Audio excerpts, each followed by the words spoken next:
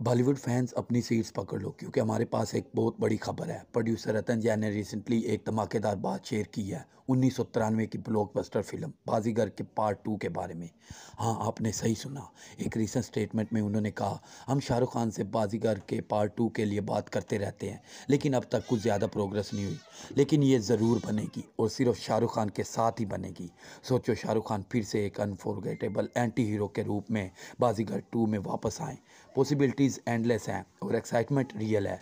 क्या ये बॉलीवुड के एक आइकॉनिक करेक्टर की कम हो सकती है? सिर्फ़ वक्त बताएगा। बॉलीवुड लवर्स मज़ीद ऐसी अपडेट्स के लिए हमारे साथ जुड़े रहें।